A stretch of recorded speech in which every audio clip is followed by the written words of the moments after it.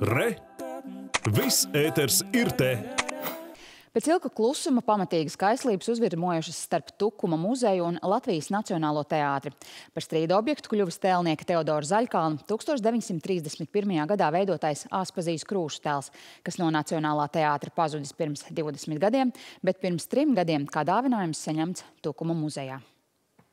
No šodienas Durbas pilī, kas savulaik vairākus gadus piederējusi Rainim, ja īstajā vārdā Jānim Pliekšanam, uz ikvienu apmeklētāju noraugās viņa dzīves biedrs Aspazijas tēls. Kā RTV skaidro krūštēlu dāvinātājs, 2019. gadā viņš to atrads īpašumu izpārdošanā starp metālu uzņiem, turklāt nepavisam tādā izskatā kā šodien.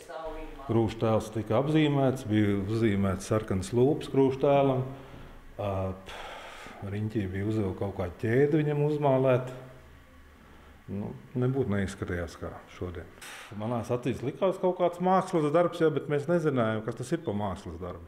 Nu, un tad jau pieaicinot muzeja darbiniekus, mēs noskaidrojām. Tevnieka Teodora Zaļkalna 1931. gadā veidotais bronzas krūštāls veidots pēc Latvijas Nacionālā teātra pasūtījuma, bet pēdējos trīs gadus atradies Tukuma muzeja krājumā. Tajā laikā es centos sazināties ar teātra, gan sabiedrisko attiecību cilvēkiem, gan ar direkcijas pārstāvjiem. Man izdevās sazināties ar Ojā Rubenu tajā laikā. Un, tā kā es saņēmu informāciju, ka teātrim tajā brīdī nav aktuāla šī skulptūra, tādējādi mēs pieņēmām dāvinājumu no tiem cilvēkiem, kas šo skulptūru atrada metālūžņos. Tas eh, gan īsti neatbilst patiesībai, jo tiklīdz publiski parādījās ziņas par šīs lietas, eh, šīs skulptūras atrašanu, tā arī uzreiz nekavējoties. Eh, faktiski, kad publiski parādījās šīs ziņas, vērsās gan pie Tukuma muzeja, gan vērsās kultūras ministrijā, centās tādā veidā šo lietu kārtot. Savukārt, nu, tad, kā zināms, pa vidam iestājās Covid un visādas citādas problēmas bija jārisina, tādēļ tas varbūt tika atlikts malā.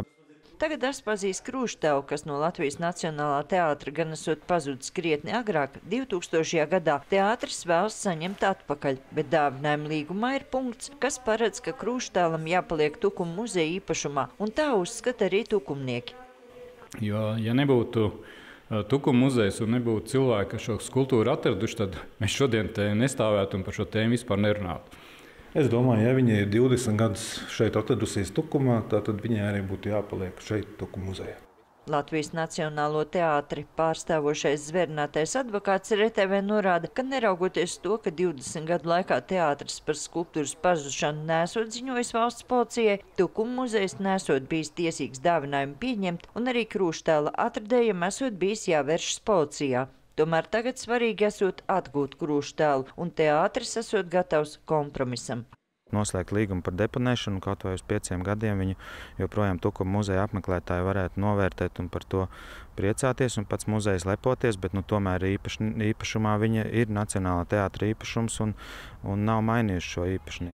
Lēmums par Aspazijas krūštēlu atgriešanu teātrim tukumniekiem jāpieņem līdz 30. septembrim. Pretējā gadījumā jautājums tikšot risināts tiesas ceļā. Sandra Leitāna, Andris Pāns, Vidzemes televīzija.